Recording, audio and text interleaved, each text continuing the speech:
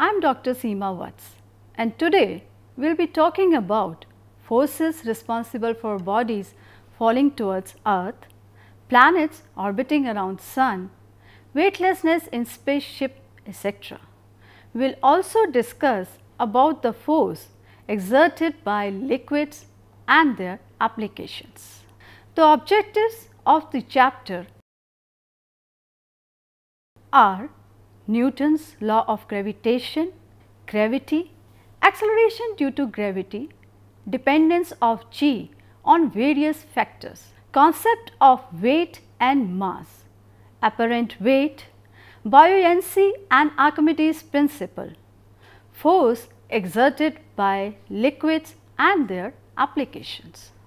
There is an interesting story about Newton. It is said that while Newton was sitting under an apple tree, an apple fell on him. The fall of apple set Newton thinking, why did the apple fall down? If some force is acting on the apple, then it must be in accelerated motion. We also observe these phenomena in day to day life. That is, when a body are thrown up, come falling back to the earth. Objects dropped from some height, they also fall towards the earth. Newton thought about these questions. What are the forces responsible for falling bodies? Is this force the same force acting between sun and planets, moon and earth? And what are the secrets of planetary and satellite motion? And he found out that the forces responsible for all these phenomena is called as gravitational force. Let us see what kind of gravitational force is it. It is always attractive. It is independent of the medium between the two particles. It holds good for interplanetary distances as well as interatomic distances. It is also an action reaction pair. Basis this observation, Newton gave Newton's law of gravitation. That is, every particle in the universe attracts every other particle with a force. This force is proportional to the product of their masses and inversely proportional to the square of the distance between them. Also, the force is along the line joining the two particles. Mathematically, where m1 and m2 are the masses of the two particles separated by a distances r, F is proportional to m1 m2 divided by r square. But if we remove the proportionality sign, F is equal to capital G m1 m2 divided by r square. Let us know what is G? Well, G is a constant of proportionality. It is also called as universal gravitational constant. Its value is same everywhere on the earth or in the universe. In SI units where m is measured in kilograms, F in Newton and R in meters, the accepted value of G is 6.67 into 10 to the power minus 11 Newton meter square per kilogram square. The value of G is very small. This means that the force of gravitation between objects of ordinary mass is very weak. The force with which the earth and the boy attract each other is more than a thousand million times stronger than the force of attraction between you and your friend sitting at a distance of about 1 meter from you. Very, very large masses like the earth, the moon or the sun, the gravitational force between such objects is quite large. The gravitational force due to earth is also known as gravity. Let us find an answer to this question. Two heavier objects fall faster than the lighter ones when dropped from same height. For this, let us perform this activity. Ask one of your friends to stand at the rooftop of a two-storied building with stones of different masses in his two hands. Ask him to drop these stones together. Carefully observe falling of stones. What do you find? Why both these stones reach the ground at the same time?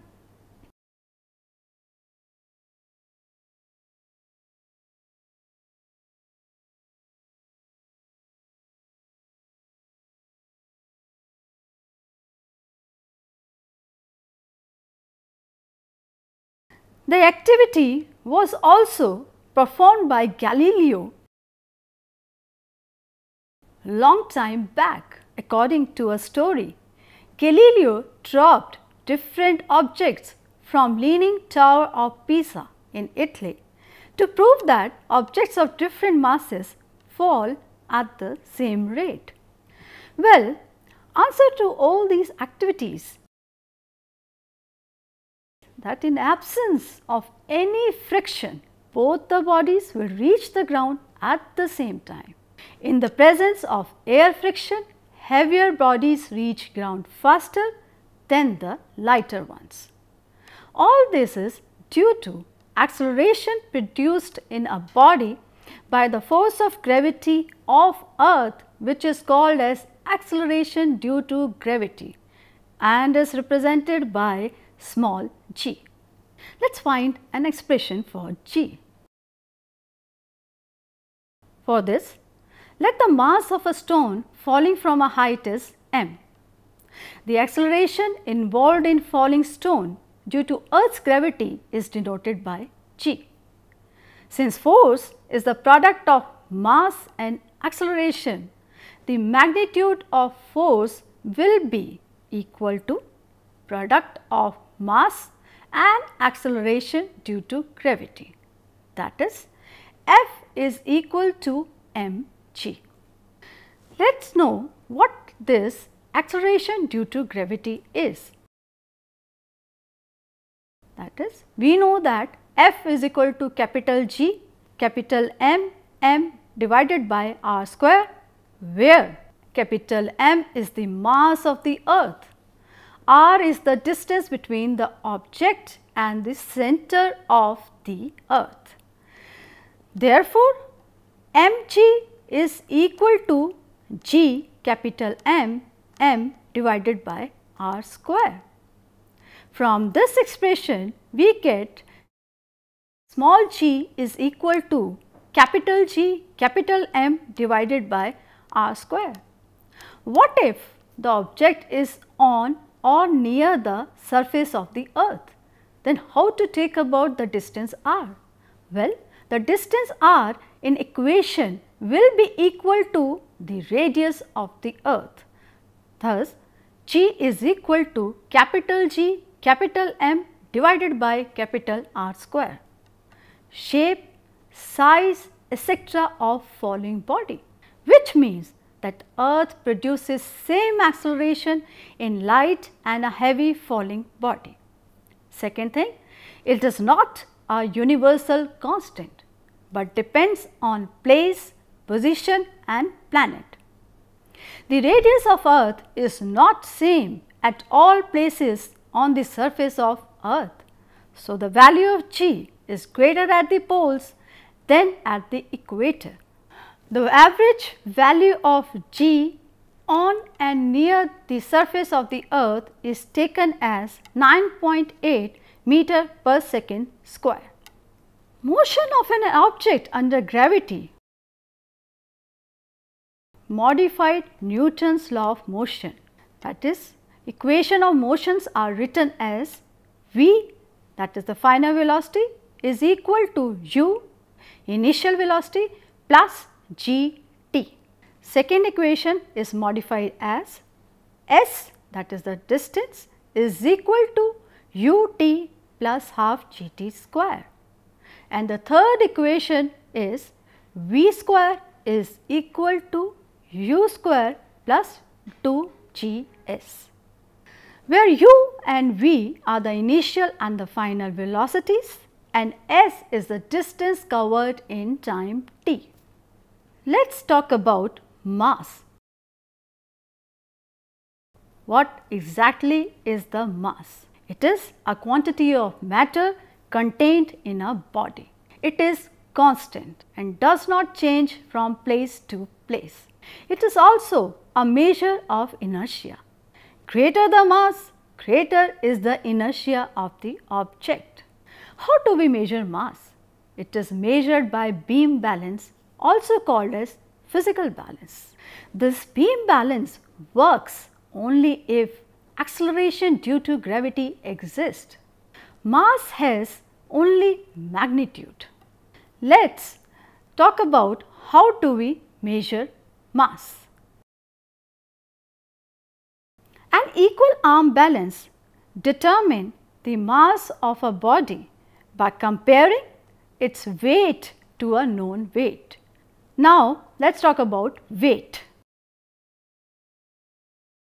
It is the force with which a body is attracted towards earth. That is, force is equal to mass into acceleration and F is equal to mg. If the weight of an object is denoted by W, then W is equal to mg. Weight depends on the value of g. It has both magnitude and direction. The force always acts downward. How does a weighing machine record weight? A body exerts a downward force equal to its weight W on the machine. Now, according to third law of motion, the machine exerts an upward reaction R on the body which is equal to W that is the weight and the weighing machine measures the reaction R which is the weight of the body. Let us talk about the apparent weight. What exactly is apparent weight? Feeling of weight called apparent weight comes due to reaction of a supporting surface. A body in a lift moving upwards feels heavier than the body in a lift moving downward. If the lift is falling freely with A equal to g, then the apparent weight is 0 and body is weightless. Now, let us discuss about the force exerted by the liquids that is buoyancy. For this, let us perform this activity. A child lifting a mug filled with water out of bucket. Take a large wooden block and put it in a bucket filled with water. What do you observe? You will see that the wooden block floats when placed on the surface of water. Now push the block into the water. What do you feel? Why do you feel an upward push on your hand? What does it indicate? Well, this indicates that water exerts an upward force on the wooden block.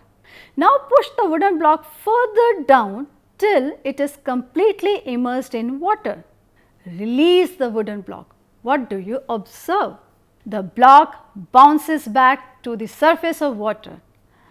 This upward force exerted by water on the wooden block is known as the force of buoyancy or buoyant force. This force is also known as upthrust. There is a famous scientist, Greek scientist that is Archimedes. He was a great mathematician and a scientist. He is best known for his famous Archimedes principle. It is said that Archimedes discovered this principle when he stepped in a bathtub full of water and noticed that water overflowed from it. He ran through the streets shouting Eureka, Eureka, which means I found it. There is a principle given by Archimedes basis on this activity that is take a piece of stone suspend it from a spring balance with the help of a thread. Note the reading of spring balance. This is the weight of stone in air. Now dip the stone slowly into water kept in a container. Dip the stone slowly into water kept in a container. The reading of spring balance decreases as the stone is gradually lowered in water. However, when the stone gets fully immersed in water, no further change is observed in the reading of spring balance. Decrease in reading of spring balance shows that an upward force acts on stone when it is dipped in water. This upward force is known as the force of buoyancy. Archimedes discovered a principle to determine the magnitude of force of buoyancy. What is Archimedes principle? Well, Archimedes principle is stated as when a body is immersed fully or partially in a fluid, it experiences an upward force that is equal to the weight of fluid displaced by it. The magnitude of buoyant force acting on a body at a given place depends on the density of the fluid and the volume of the body immersed in the fluid. There are various applications of Archimedes principle that is lactometers which are used for determining the purity of milk. They are also based on this principle. It is also used in designing ships, submarines. He invented the famous Archimedes screw which was used for raising water from lower to a higher level. There are interesting facts about a buoyant force. When a body is kept in a vacuum, there is no buoyant force acting on the body. Now, let us summarize whatever we have learned in this chapter. That is, Newton's law of gravitation states that every particle in the universe attracts every other particle with a force which is proportional to product of their masses and inversely proportional to square of the distance between them. Gravity is the gravitational force due to earth. The value of g is independent of the mass of the body. The mass of an object is constant, does not vary from place to place. The weight of the object is the force with which it is attracted towards earth. A body falling freely under gravity is weightless. All objects experience a buoyant force when they are immersed in a fluid. The magnitude of buoyant force acting on a body at a given place depends on the density of the fluid and the volume of the body immersed in the fluid. Archimedes principle states that when a body is immersed fully or partially in a fluid, it experiences an upward force that is equal to the weight of the fluid displaced by it. Thank you.